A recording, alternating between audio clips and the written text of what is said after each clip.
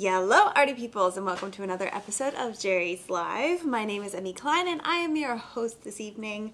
And today I have a really fun show planned. It's I haven't talked about this before on the show. I don't even think we've gone over this at all in any of the shows, even with Amy. So uh, today, if you are interested in anything that I'm using during the show, make sure to go to the website jerrysartarama.com and type in the search bar today's class code, which is JL275. So JL275. And it's also down here in the corner in case you need to look at that throughout the show. But that should bring up the teacher's cart with everything I'm using so that you can check it out that way. So today's show, I'm very excited, is talking about repeating patterns. Now, yes, this is something you can do dig digitally. Words. Digitally. I, I think I struggle with that word just like um, dioxazine. That one. Those are the words I, I just struggle apparently with those. But uh, yes, this is a process that you can actually definitely use um, any kind of like digital medium, uh, photo editing software like Procreate or uh, Photoshop or some things that you could use. But for those people who are not very good at those programs or somebody who just doesn't have them because they are a little expensive, how would you approach doing a repeating pattern by hand? This is something that you could absolutely do by hand. So I wanted to show you kind of the process of how to do that. Um, so I have a couple of different patterns that I wanted to show you kind of how you would set them up and different ways that you can create them. And we're going to start with a really basic one. So first things first, the uh, kind of more important thing that you need is paper, like a surface. You do not have to use this particular one. I would just highly suggest you use something that is a little bit thicker. Uh, this is a multimedia paper. I very much love it. It is 120 pounds, uh, 200 GSM. So nice and thick. It definitely has, uh, you know, kind of denseness to it. The reason why that's really important is because no matter what I put my pattern on with any materials, this paper is going to be pretty good with it. Um, you, I don't think you should really use canvas. If that's something that, eh, not saying that you can't use canvas, I just, not the best option for the surface. Uh, paper is going to be a little bit better for you. So the 1264 Fabriano is my go-to, the multimedia. It's really great paper. Um, but that uh, comes in a 9 by 12 They have all kinds of different sizes, but um, I've just been cutting mine down to size. So whether or not it's a 9 by 9 or an 8 by 8 in this case, um, you have you know options to cut it down. The way that I do it is always with a straight razor, especially when doing a repeating pattern. I try to make sure I have a perfect square. Uh, and the way that I do that is a cutting mat. Now uh, this has perfect 90 degree, 90 degree squares on the surface. If you want a larger one, if you want to work larger, that'll also help. Um, but this also is the way that I cut my paper. I use my flat, uh, the flat edge of my ruler and a razor blade, just like a little hobby knife. Cut perfect edges every time. Uh, now I'm not going to actually do that during the show, but that is the tools that I would be using in order to do that. All you have to do is measure out your uh, size that you want to work in, and then just lay that ruler down, make sure you do not let it move, and then cut it nice and straight. So um, for the very first pattern, I'm going to be doing uh, like an 8 by 8 tile pattern. This is the simplest one. Uh, so if we go to the overhead view, uh, let me actually grab, I'm going to be using a Sharpie for this, honestly, just because it's going to be very, very easy for you guys to see, and I might actually just keep this down here so you guys can see this a little bit easier. Um, so, 8 by 8 paper. Um, you can tell that it's perfectly square because look at that that sharp edge right there. And if I line that up, it's perfectly squared. Lovely. I have also drawn a one inch grid on there uh, just as a guideline. Uh, when it comes to the tile method, think of this kind of like floor tiles, bathroom tiles, backsplash tiles. Um, you want to make, it doesn't have to be a perfectly symmetrical kind of design, but um, th this is a pretty easy way to kind of think of it is kind of like a grid. So um, you can make your design in a lot of different ways, uh, whether it be like triangles, um, but for this one, I'm just going to keep it Very, very simple, right? Smiley. Let me actually just put a little circle around it, right? So if I decide that I'm going to do like a checkerboard pattern of little smiley faces, and I do every other one, this is probably going to actually take me a little bit longer than I want to. Maybe I throw in a frowny face right in the middle. I don't know. Just one. And then keep the rest of them smiley, right? Then, after I fill in like every other one, I would take this, and actually let me, because there's something I do need to show you. Oop, there's a mouth in there somewhere. All right, not my best smiley face. It's, don't look at him. He's like my bad smiley face. Um, clearly I'm a fine artist.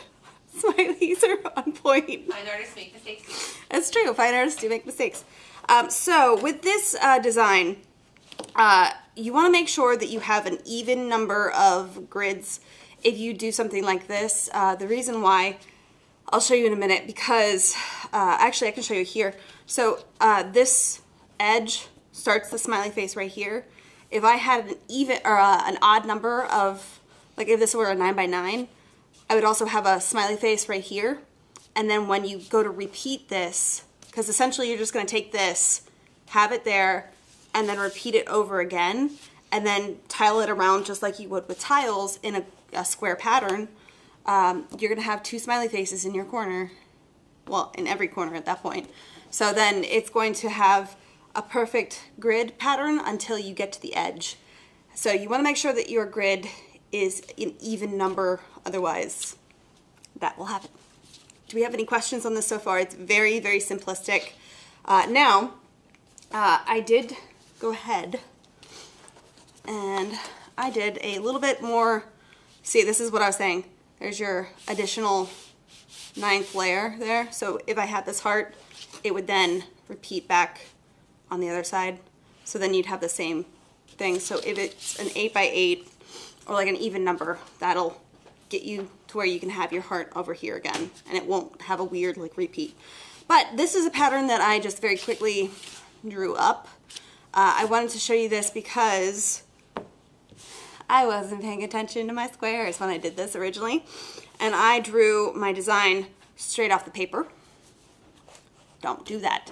Uh, you do want to stay within the little grids of those little uh, squares, especially when it comes to your edges. Uh, when you have a pattern like this, the reason why is because that's going to be a sharp edge when you go to repeat it again. Now from here, what you can do is scan it into your computer and you can just start, again, it would be a photo manipulation software, but you can take your hand-drawn imagery and then just tile it over and over and over again um, to make a repeating pattern. So how fun is that? So you can see like a little chunk of stars is just kind of repeating around. Question? Yes, um, Rhiannon said it, she finds if she does it in that way, it repeats with a gap. Do you have any tips for that? Um, with that being the case, that's why I'm saying you might want to do it where you just fill in these little squares uh, and make sure that your design doesn't go to the edge. Um, so yes, there is going to be a gap, but I try to make sure that my design goes to the edge, but not past it, if that makes any sense. Um, and then when you scan it in to your computer, make sure that you, you can crop it in a little bit and kind of tweak it that way to kind of get rid of those gaps. Um, but if you do the, the work where it's perfectly square paper and you do your design the way that you need to within that square without going over the edge, you should be okay. But the gap is going to come from like having too much space between your design and the edge on this side. Whereas like if you were to fill in the square entirely in the middle here, like, and I'm talking, um, if I were to, very quickly, and I'm not trying to go to the edge, right? But if I do the edge on this one,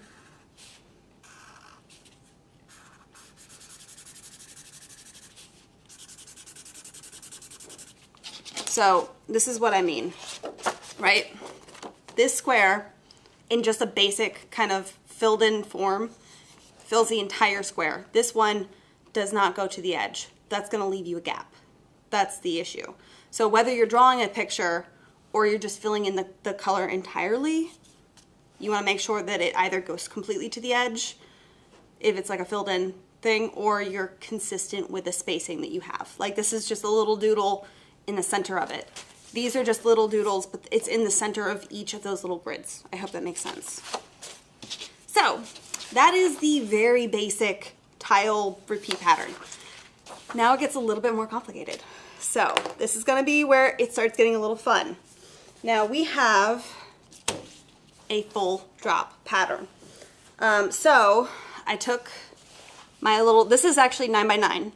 So I took my paper and I cut it perfectly in half. When you do these repeat patterns, make sure you are very precise with your cut. That's going to help you later on. You wanna make sure that you're using a ruler to get a perfectly flat edge uh, to cut it with, and then you wanna make sure that it is perfectly in the center. Uh, that's really, really going to help, um, especially when you're doing the more simplistic kind of things. So, when you're doing a full drop pattern, um, it does help to number your corners.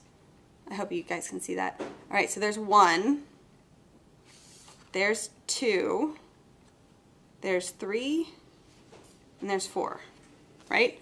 So when you're doing your patterns on here, you have your four pieces, right? And they're cut in half, and I taped these together to where they're stuck together, but when you start moving them around, these are the numbers that combinations that you can do where it's going to make sense. So one, two, three, four is where you're always going to start because this is just how you start your image, right? Then, and actually let me um, keep this on here so that you guys can see it a little bit better.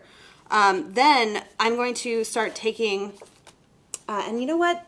This is where I'm going to actually start using my little, my, my little doodle images. This is going to be a lot easier for you guys to see, right? So this is the other aspect of, before I get into like how to repeat the pattern, uh, this is how I make my designs, uh, is by using tracing paper, right? This is our Soho tracing paper. It's literally just tracing paper. Super thin, it's transparent, and yes, I did a little mouse for Christina. It's called a little strawberry, and tracing paper does do this, so that's just something that you're gonna have to know. Um, so I do all of my designs and everything on tracing paper, and I cut them out. So it's super easy at that point to have a themed amount of doodles, and then I can move them around wherever I need to go. So I had decided that I wanted to do kind of like a little forest tea party because it was adorable and why not? So I have my paper all cut up. I have my little design. So there's a little mushroom. There's a little leaf. I got a teapot. Got some more leaves. Um, let's do a snail.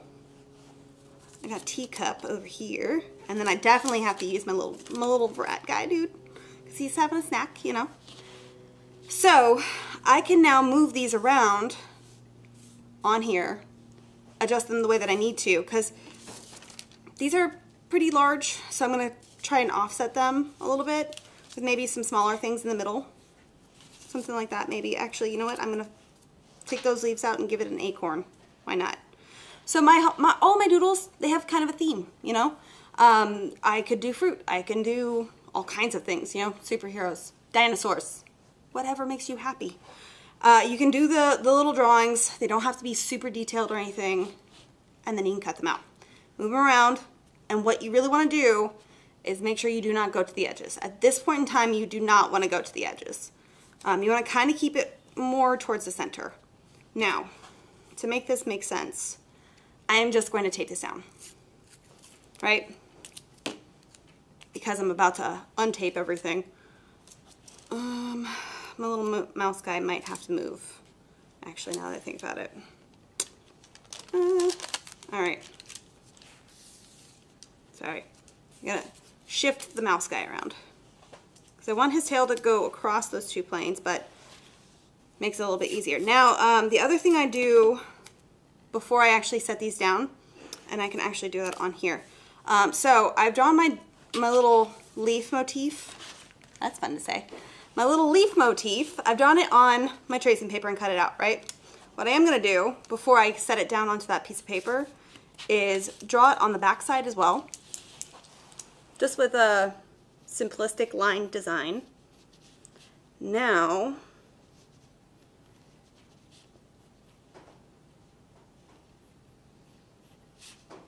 I have the ability to transfer this onto my paper as I lay it down. Um, and it does kind of transfer when you're drawing it too. So if I get my things kind of set where I want it to. Now the other reason why I draw on both sides of my paper, because A, I want to transfer it down nice and easy. And I was telling this to Katie. I don't know why, but every time I do a lot of like little doodles and stuff like this, everything seems to be going one direction. Like everything's pointed this direction, like my mouse is going that way, my snail's going that way, my teapot's going that way. So if I decide that I want something flipped, I don't have to now erase it and redraw it and hope that it's about the same. All I have to do is just one of these. Ta-da! So easy. So let me get this taped down.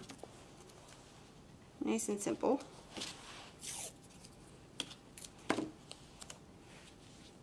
Now, if you guys do have any questions, now is a great time to ask it while I'm taping and moving. It's pretty simple though.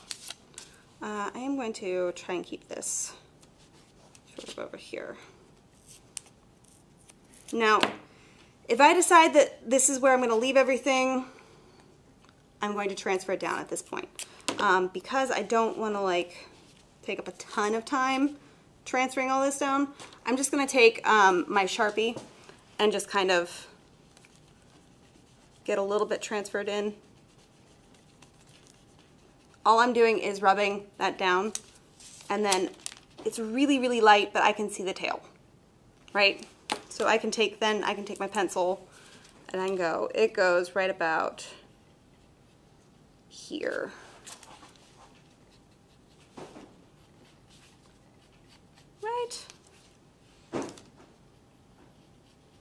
Super light. If I really wanted to transfer that down a lot harder, I could.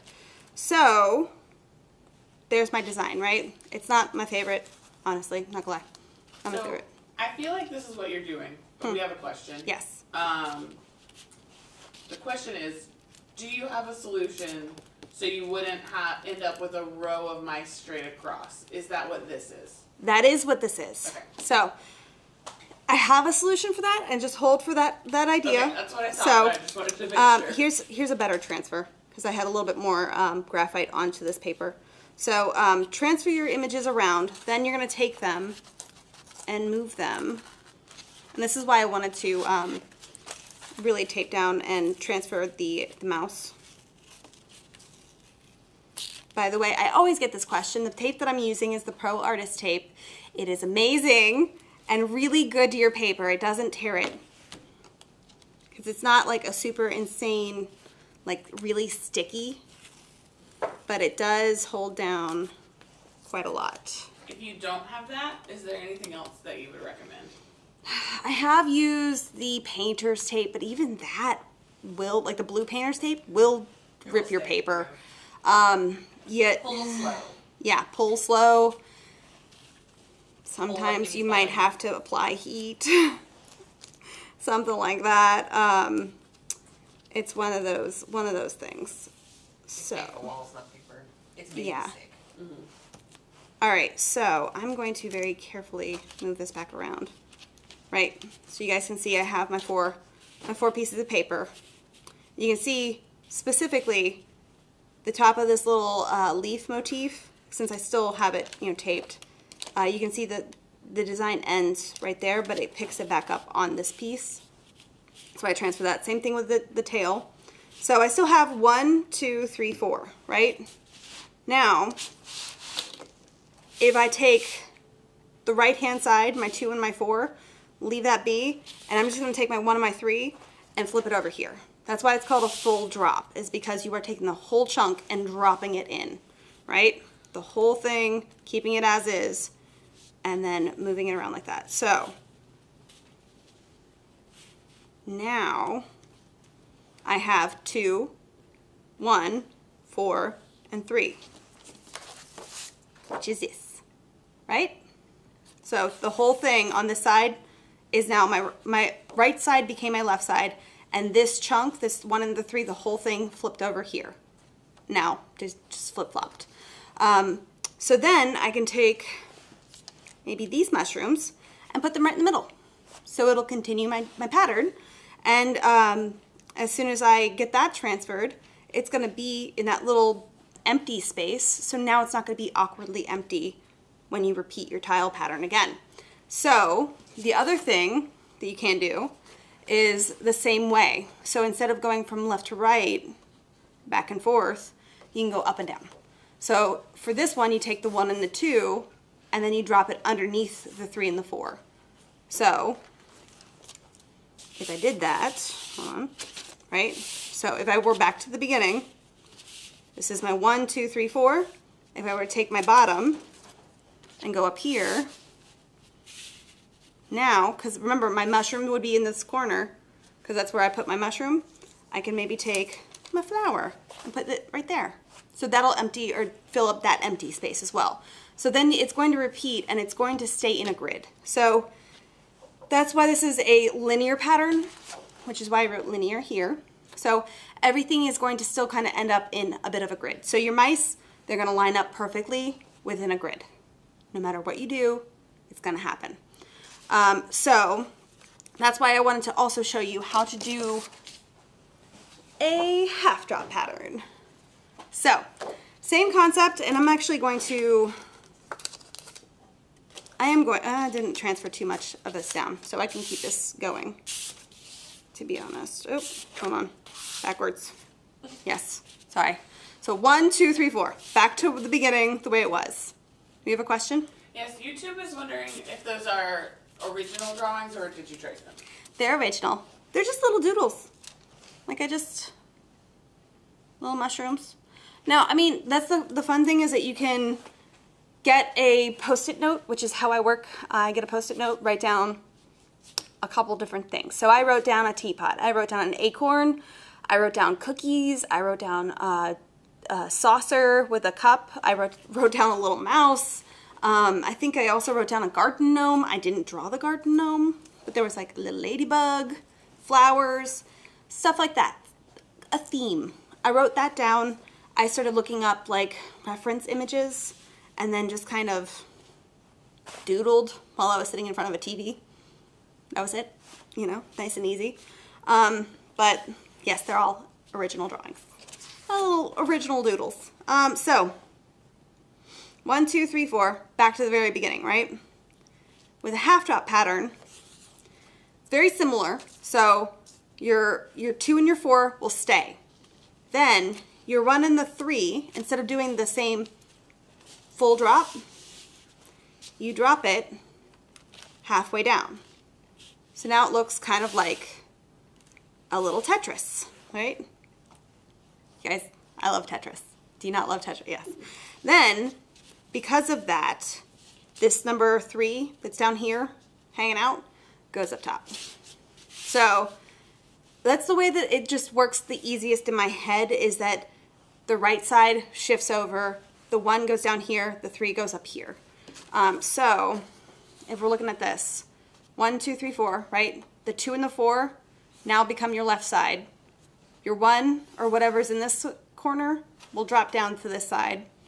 And then this one will drop up, drop up, bounce up, jump up, goes up. So now we have, these are the, the four combinations that you can have. So your two and your four is now on the left side. There's your two and your four. And then there's your three and your one because your three jumped up, your one dropped down, right? But from here, these, because again, you can then take little designs, pop them in to repeat the pattern. And then when you're done drawing this, you take this, this one goes down here, this one jumps up there. Same concept. So now your three and your one become your left side. And then your two goes down your four jumps up. See? So it just keeps the pattern going. Now when you complete this pattern, and I would transfer all of these, I probably will in a minute, but um, I just wanted to kind of show you a more completed pattern that is already done. So I did the same thing with my fruit. That's what this is. Um, let me actually take all the tape off. That's gonna be a lot easier for you guys to see me moving it around. So do you, when you're doing that, do you shift it in all four configurations to make sure you cover all of the gaps, or do you just do one and then you fill? So what I do is I do all four with my pencil drawing first. So the way that I had this set up is that everything was in pencil before I locked it in with um, pen. And the pen that I used was just the Acurit Waterproof Technical Pen. I used the number one, 1.0. So it's a, a thicker nib because uh, I mostly wanted you guys to be able to see it. so one, two, three, four. If this is the half drop pattern, right, my two, my four scoot over and become my left side. My one drops down and my three jumps up. So now you have a banana in the middle, right? And if I keep going, my one and my three shift over, but now my they're upside down, you know. My two drops down, my four jumps up. So now I have a strawberry in the middle. Isn't it cute? And you can keep going. That blows my mind. You're scrambling my brain. Yeah. But this is how you get a design that doesn't go in a perfect grid. It does go in a grid, but the grid is diagonal. So when you're doing uh, patterns like this, it just appears less like a pattern. Like it's it's still a pattern and your brain recognizes that it's a pattern, but it's not like, oh, it's a pattern. You're just like, oh, okay. Uh, now, from here, what you can do is color it in. You can color it in by hand. Uh, that's why I really love this multimedia paper is that you can do it with colored pencils. You can do it with crayons. You can do it with pastels. You can do it with watercolor. You can do it with gouache. I actually, in the teacher's cart, threw in uh, the Turner Acrylic Gouache, which I might get a chance to paint these. I don't know how much time we're going to have at the end of this. Um, so the reason why I would suggest if you're going to paint this by hand, because again, yes, you can digitally color it, absolutely. Once you scan it in, just scan in the line work and then digitally do that. I'm not going over that process because that's not what we're here for, but I can show you what I did in a minute.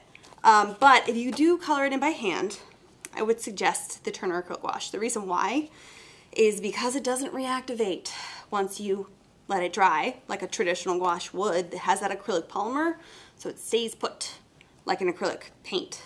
Um, but it is flat, matte, really brilliant colors. Um, so this scans into your computer really, really well and it reproduces gorgeously. So whatever you paint, because you can paint this by hand and then scan it into your computer, and yes, you are gonna have to paint this, then flip it around, continue to paint. now when it comes to patterns like this, um, you can get incredibly complicated, you can get abstract, you can do whatever it is that makes you happy. Me personally, my brain starts going, nope, and I just want to fill in the background with one solid color. That's super easy and not hard for me to do.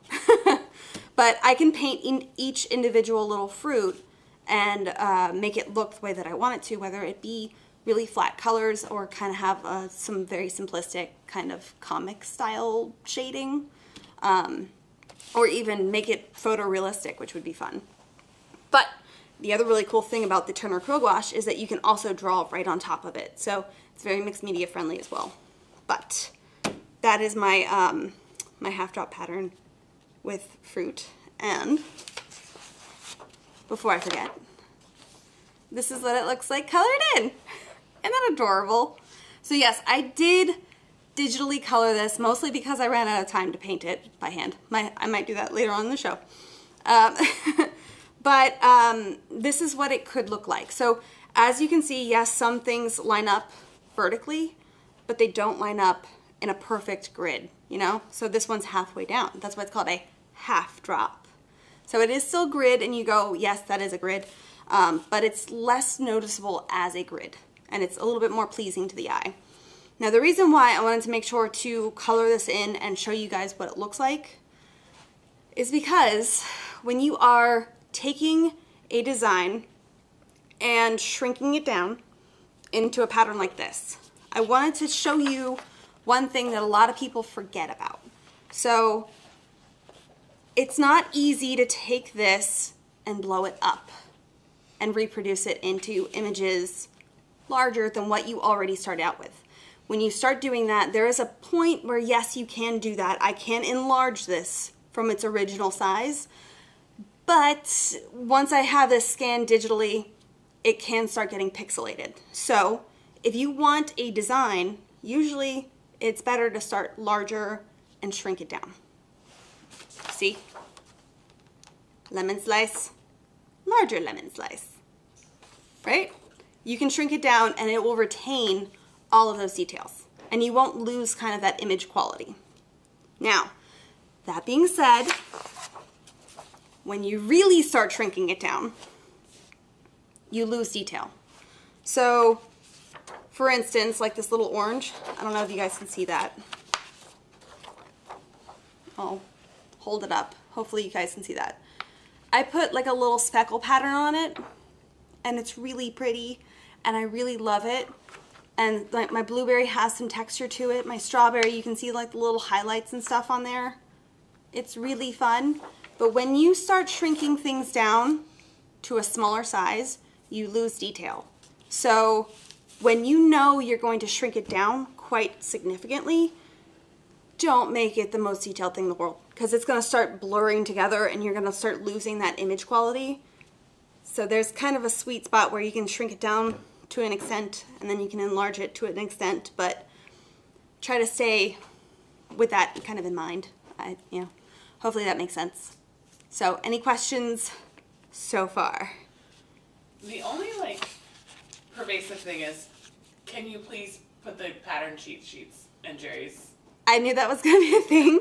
So uh, yes, I will be uploading these because this is where it starts getting really complicated. Like the tile one, all you do is just paste it, paste it, like you would like tile on a floor or on your wall, backsplash. That's not complicated. This is where it makes it really confusing. And once you start doing it over time, it starts making sense, especially when you start getting those patterns kind of down onto your paper. I will very much suggest you number the corners of your little tiles. As soon as you make that little tile, uh, just put a one, two, three, four into the each corner. That way you can kind of keep track of it without having to think too hard. Because when you start doing patterns, it makes it so confusing until you get used to it or you get your patterns down. Now, that's the half drop pattern more or less completed. Um, and I did have one last example where I hope this doesn't like hurt people's eyes. but it's a little bit more abstract. So you can do funky doodles, you know, um, and this is also the half drop pattern. Let me actually move this around, sorry. I taped everything thinking, oh, I'm not gonna have to untape it. I'm, I'm excited to see this one because there's, that looks like there would be no way that that's gonna match up when you move it around. Right? It does, I swear. All right, so,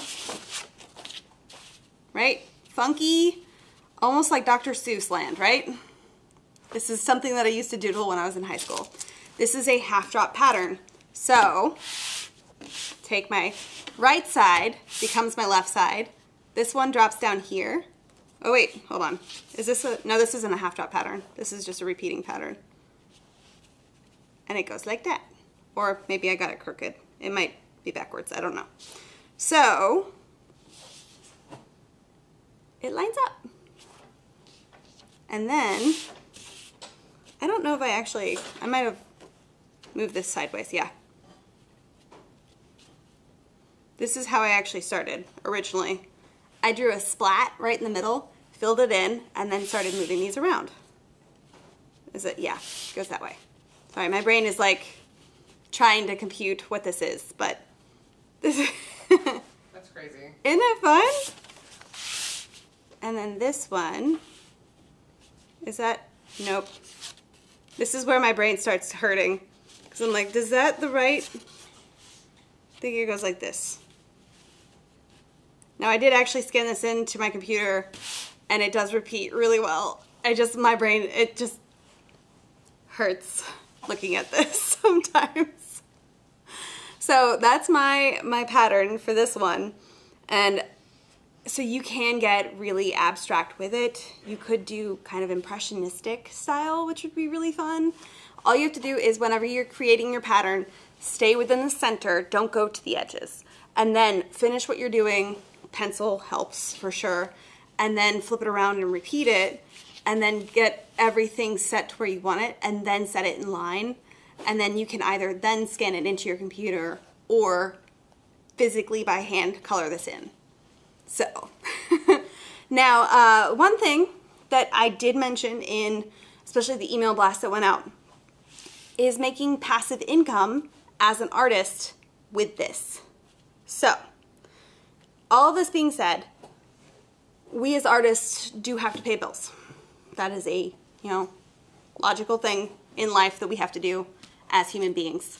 Um, but it's sometimes hard to do that when you don't have commissions or if you don't have uh, freelance work that's constantly going.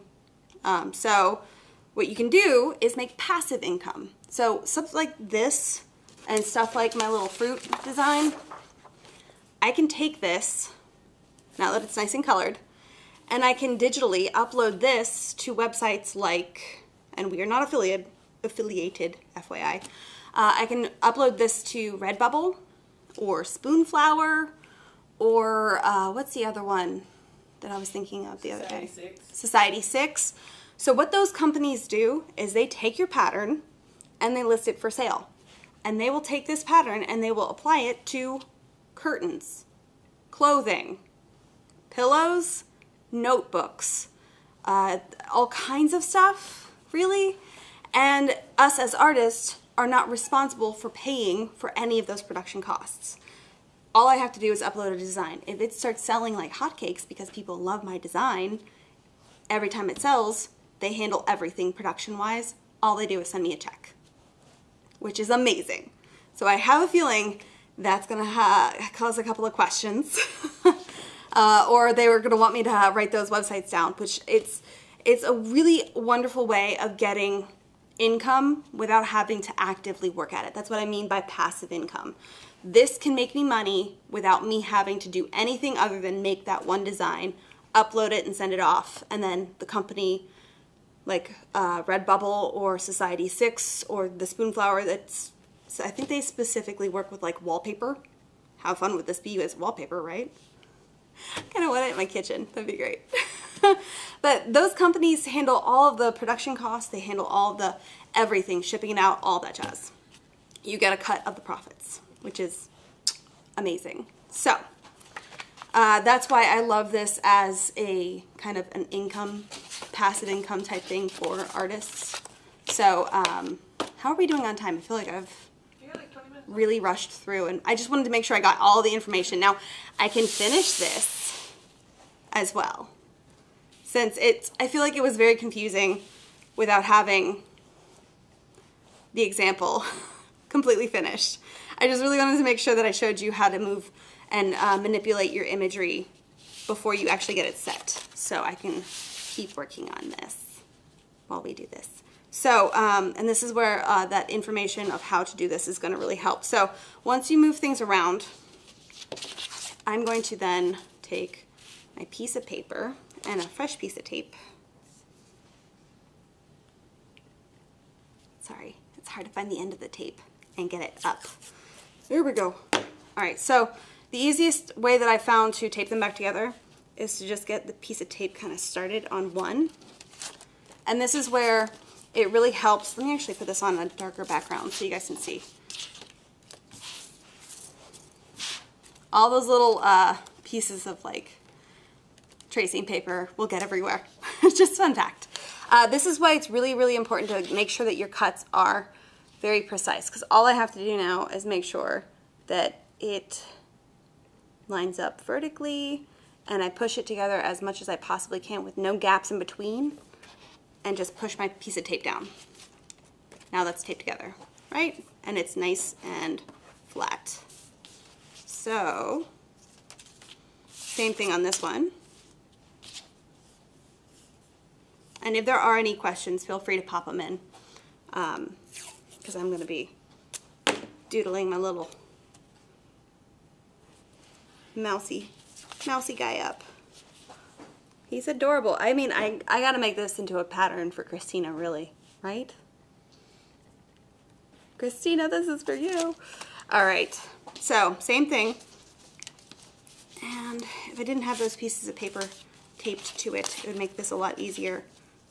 So when it starts bowing like that, because it is kind of bowing just a little bit, um, well, that's probably the mouse tail happening, but um, sometimes that means that your pieces of paper were taped with a little too much, like you pushed it together just a little bit much.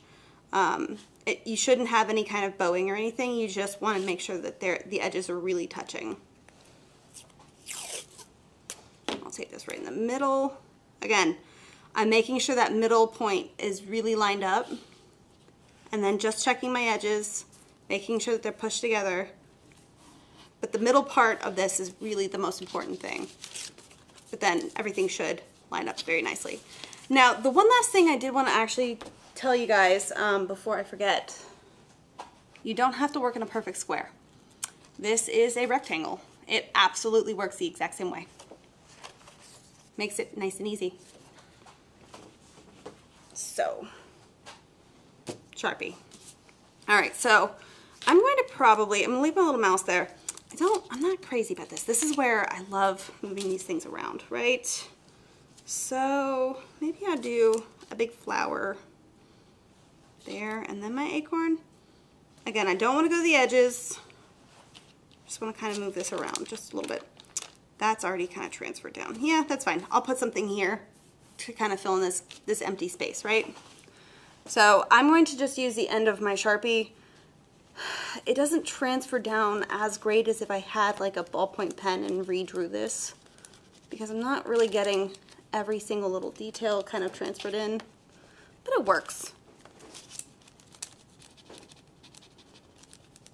Right, so I'm getting like my lines transferred. Hopefully with finishing this design, it'll kind of answer those questions you guys had with a visual. let's get this little ear, and it will say when you buff it like this, it does kind of blur it just a little bit. It's okay.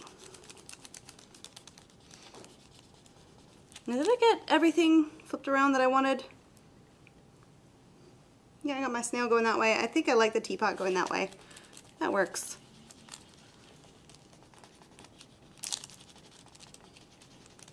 I think my mousy guy is now officially mostly transferred. Again, it's not a perfect transfer when you do it this way. It's okay. But he's there. Look at him. He's so cute. So a viewer on YouTube says, Mm-hmm. what I find challenging is the company wants you to create a proof and pay for it, and they provide specifications for sizes as well. Have you bumped up against this? Uh, yes, I have. Now, that's one of those things that the companies, because they take on all of those kind of risks, um, they do, it, it honestly depends on the company too, because every company that you work for, uh, as far as like an online, um, like production company that does this, each one's going to have their own rules and everything. Um, so while one might ask for that specifically, another might not. Um, but you do have to remember like they're taking on all of the risk, which is kind of worth it, you know? Like you all you have to do is upload your design, pay a little bit of money and then if it sells, like you you can really make a good amount of passive income. So that's why I would imagine that if you have a design, like a really great way of making sure that it's going to be worth it is that you could post it online, say, hey, what do you guys think? Um, put it out there to the world and see if people are really interested in the design. Like if they have thoughts on, hey, maybe you sub out that flower for a garden gnome. How adorable would that be? Or, you know, whatever little tweaks. Like, I don't really love that color theme. Maybe you change the color theme or have a variety of color options, you know? Because really cool thing about um, putting things into the computer is that if you do know those photo editing softwares, you could very easily tweak this into making it a totally different color. That's something that can be done. Um, again, it's one of those things that if you do it by hand, it's not hard to then send it off and then have it tweaked as well. So that's something that can be done, um, whether or not you send it to somebody else as well. I hope that answers that question. So, my little mouse dude. Okay, he's done. Let me transfer the rest of this little leaf.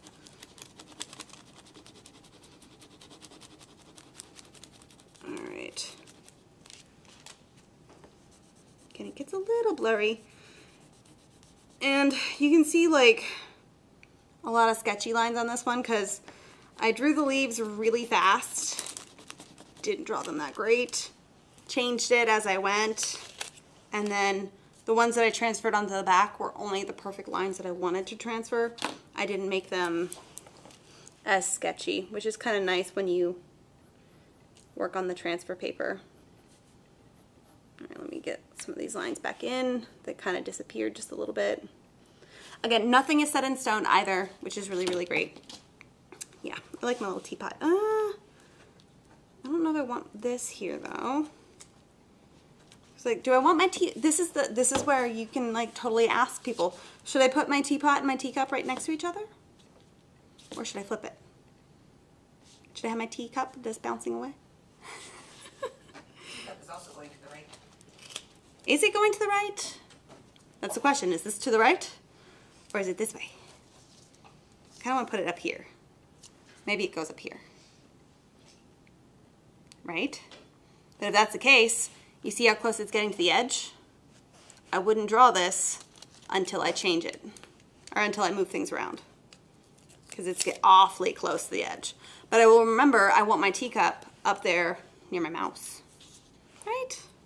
So maybe I put a cookie. And the other thing, you don't have to have perfect uh, size. Like my snail, my teapot, awfully close in size. uh, that doesn't have to be perfect either, you know. It's really nice. Um, maybe, maybe that and like, hmm. What do we think? Do we like the teapot there and then a leaf? Or is that too much leaf? I need help, ladies. Help me. Do I want a mushroom? It's a lot of leaf. It's a lot of leaf. Put a mushroom? I kind of like the mushroom. A mushroom. But the cool thing is that you can kind of just shift things around. I love that. So easy. Right? We'll put a mushroom here.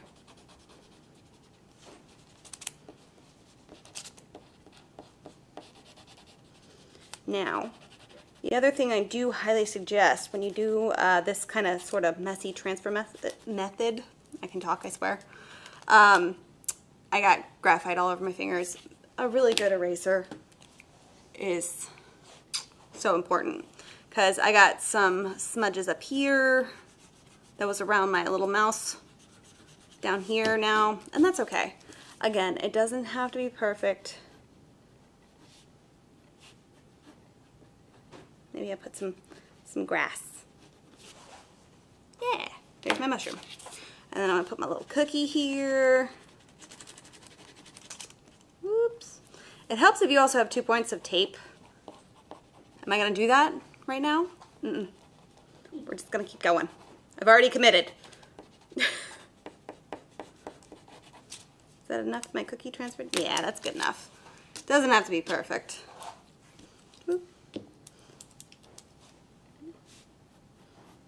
Make sure my little heart gets in there. Is that a perfect heart? Nah. That's okay. It's really mostly for like Valentine's Day. It's almost Valentine's Day. In case anybody needed that as a reminder, it's almost Valentine's Day. All right, so then let's get my little snail.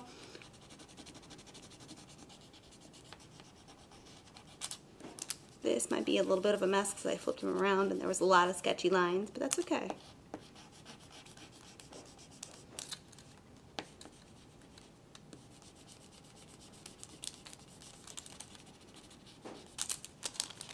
Yeah, there he is. Little snail. Snail buddies. Yeah, this is not perfectly clean lines. Again, my lines and every all my little drawings are not set in stone, so I can clean those up with the, the pen later. Alright, so with this teapot, I know I'm going to need definitely more tape to hold it down, and I don't want to destroy my drawing. So, that transferred in enough.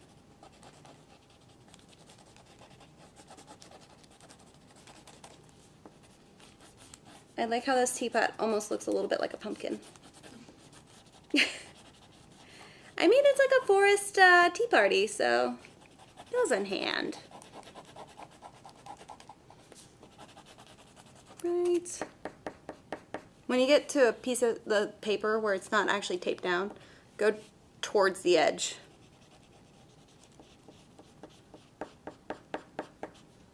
Helps you from tearing it. Alright, let's see, let's see. That's not perfectly transferred. Good enough, though. I feel like we're going to run out of time, and I don't want to do that. I just want to get it down enough.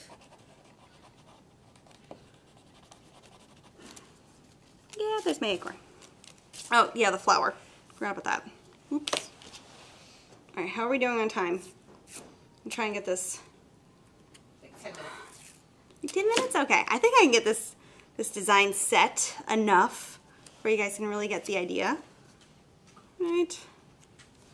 Then, you guys tell me whether or not you want to see this inked and painted in. Because I feel like I do need to finish this because it's so stinking adorable.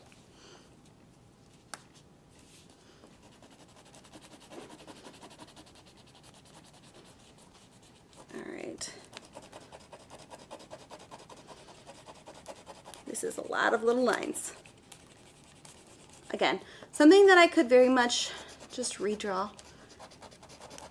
but not having to draw it, redraw it, erase it. All that makes it a little bit easier.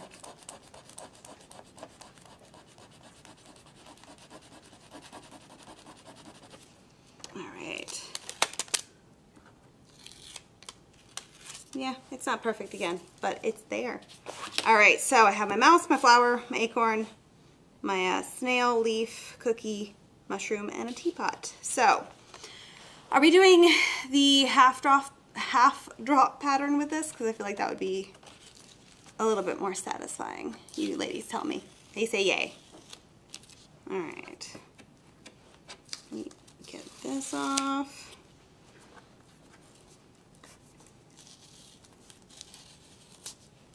And I'm not gonna try and pull into that corner because that might rip it a little bit. That's the other thing with tape is that you don't want to pull into corners like that. All right, so, nope, you're upside down. Right, one, two, three, four. If it's a half drop, I take my right side, push it over. My one drops down, my three jumps up. So now we have two, three, four, one, which is right here. Makes it so easy.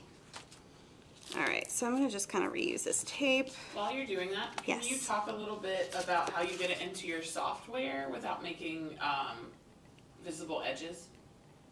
How I get it into my software without making visible edges. So that is a tricky, sort of tricky thing. Um, if you do the work, like the pre- preliminary work, and make sure that everything's nice and perfectly lined up and everything is a perfect square, Um, getting it to line up, it shouldn't be a huge issue. Um, that being said, while I just started taping this, I noticed that. You see that? Where it's not perfectly lined up? That's to be a problem. That's not to be fun. So, when you are making your design, if you notice that, that's another reason why I also have these little transfer papers. I can then just make a new template and get on with my life. Um, or I can grab the one that I have down here that's already made. um, this is where you start having issues. When you scan it into your computer, after you have like a full design, like if I were to take my fruit one, um, and to be honest, when I scanned my fruit in, let me actually put this over here. There's my last fruit corner. There we go. This guy. So when I scanned this in, I am not going to lie. I think I scanned it. The best way to do it is make sure that you have your image with the most complicated part of it right in the center. That's definitely going to help. Um, so I think I scanned it like this. Um, when I went to go repeat it, I think I had an issue with the top of my strawberry lining up with the other top kind of little bit that was here. Um, just because it didn't quite meet with the scan for some reason. Um, if you're in a hurry, you can digitally make those lines connect. Um, if it's a painting, you can really just take the time to like really tweak it to where it does connect and it does meet. Um, on occasion, you can use tools like the clone tool, the clone stamp, and kind of blur those little like missing bits together. Um, there's a lot of, it honestly is going to depend on the software that you use as well. And it's hard to explain it without physically being in the program. Um, that's there are a lot of tutorials though. I will say if you go online and you just look up how to scan and repeat a pattern in Photoshop, that's something that there's a million tutorials for. Um, but like the clone stamp tool and things like that will help you clean up your imagery. Um, and then also being able to like tweak the, the colors digitally. There's, there's a lot of different things. I would just look up a tutorial. There's a lot of visuals. We are visual people. It helps. But um, it does on occasion happen, and that's okay. Um, but it's there's there's a, a, million ways in those programs to fix it. Um, it's just it's very difficult to say without the program in front of me. um, so because I know this is going to be a problem, I am going to make sure to line up, if I don't start over again, I'm going to make sure that this corner, or the, the corners that's going to be right in the center, I'm going to line those up perfectly because I know it's going to be the same thing down here. Like it's going to be slightly offset. But I should fix that before I even get to that point. Um, so it's going to be these corners that are up in the middle. The ones that are kind of meeting right in the center are the most important. Right? Yes, just like that. So then when I put them together right in the middle, that should line up. This is where it doesn't line up as the outside, but the middle does line up. So that's the most important. I hope that makes sense. All right. And I'm definitely not going to get to painting on this one. I was hoping that I would, but I just knew the time was going to fly, and I have a hair in there. It's, don't think it's my hair either. It's not blue. I don't know whose that is. Probably me. It's, yeah. Or Christina's. Wait, no, hers is blue too. Hers, yes, we have colorful hair around here. Except for Katie. Well, you have colorful hair. It's just not are colored. unnaturally colored. Okay, so my leaf is still matching up nice and perfectly. And then I can just toss in something that I haven't used already. Ooh, mushrooms. I can do that, right? I'm gonna put that right in the center. And then I think I can transfer that. Where is the edge of this tape? Good Lord. I'm gonna transfer this down, move it one more time, and then I think we're gonna call it for the day. So if you do have any more questions while I'm doing this, pop your question in. And of course, if you're watching it in the future, I will make sure to try and keep tabs on all the questions that you guys might have. Um, it's a fun little process. Oh, sorry, before actually, I'm, I'm gonna take all that back. Um, I wanted to, real quick, before I forget, because you might want to do this for screen printing or linoleum printing, like block printing. Uh, it's really, really, really incredibly hard to line this up when you have half of the, like a, a dead edge, like where the, the image kind of goes off. So there is a way of doing this where you create it a little bit different. And let me, I have to tape these back together real fast. Um, While you're doing that, yes. wouldn't it be easier to draw all this on one square and then cut it? Or would it be easier? You have to move them around, remember? So, For your first pass, I mean. yes, for your first pass, like when I did the, um, the fruit, I actually didn't cut it up until I was done drawing them. So yes, you are absolutely correct. That is a little bit easier. And then cut it down the center perfectly. Then move it. Um, I just didn't want to be sitting here cutting paper for 15 minutes on the show. it's kind of like watching paint dry. It's really slow going. And I didn't want you guys to be sitting here watching me do that. Although you're watching me tape paper for 90% of this. So my apologies. This is just part of the, the thing. Um, okay, so let me get this lined up because when it comes to screen printing, it's not easy to line up those edges when they're like that because this is something that you can use for screen printing, right? So I have my image back together. Now, uh, I am going to chop this up. Don't freak out.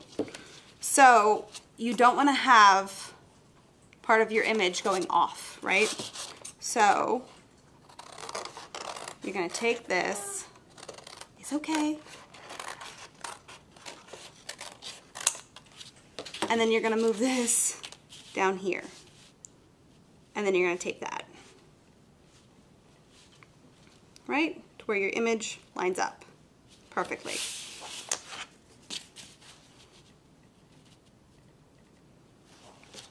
So I'm to tape that. Now, the other really cool thing about this is that this is something that you can do when you paint it. That way you don't have to, uh, this is one way of kind of avoiding the, the Photoshop misaligned edges as well. Which I cannot believe I almost forgot to tell you this. Right? So now I have a full strawberry, a full uh, pear, my banana is still not perfectly full yet. We'll get to that. But now I know this edge, kind of like, you know, those um, tessellations we did back in school days? Similar thing.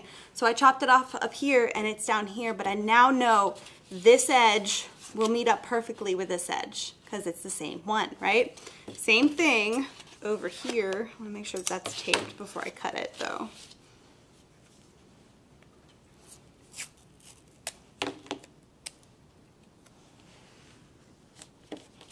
because whatever I chop off, it's going to be into two pieces now. And that's not to be easy, right? Okay, so again, the same thing. I'm to actually chop this off into one piece because it's just to make it a lot easier. Right? I'm to take this and I'm to pop it technically down here. Because remember, it's a drop pattern. I know. It's very frustrating. Then I'm to take my banana and I'm to pop that up here. So, let me get that leaf lined up. This is where the other grid pattern makes it a little bit easier. Um, now I'm going to have to actually tape this up this way because you got to make sure that your lines line up. Something I haven't done in a very long time, so my apologies.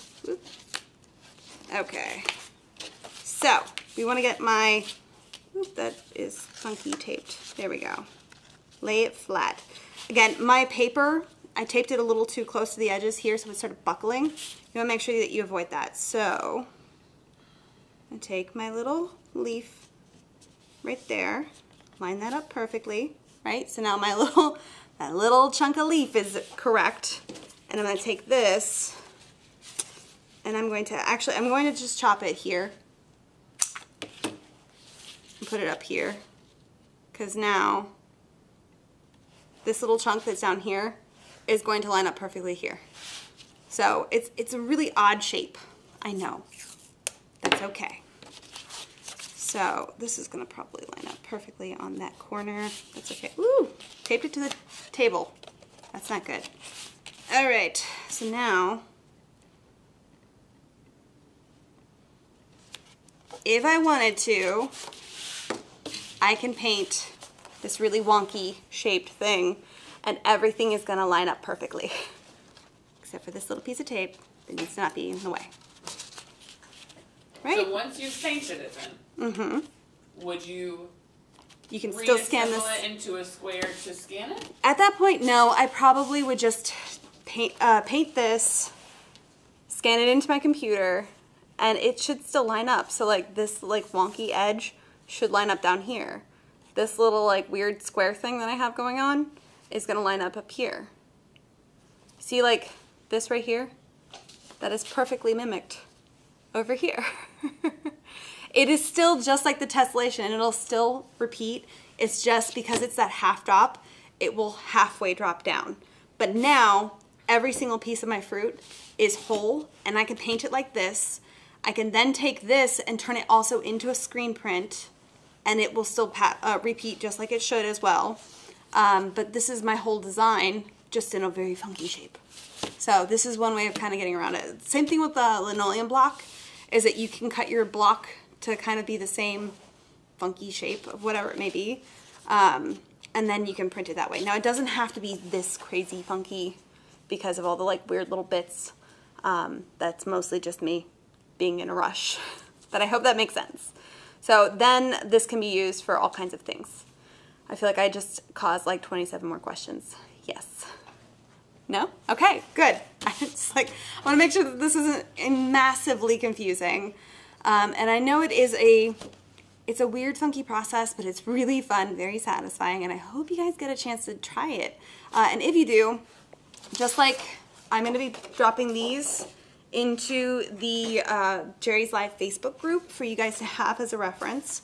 Um, you can also take your designs and drop them in and say, hey guys, check out what I made. And make sure you do the hashtag JL275 because I would love to find what you make and love to see your, your repeat patterns, especially if they're amazing. And I and love to see your, your repeat patterns, especially if they're amazing and I can get them on a throw pillow. Why not? Shower curtains, baseball hat. There's all kinds of things. Cell phone cases. They make cell phone cases now. And I really want somebody to make a dinosaur themed like wallpaper that I want to put on my kitchen because I'm that person.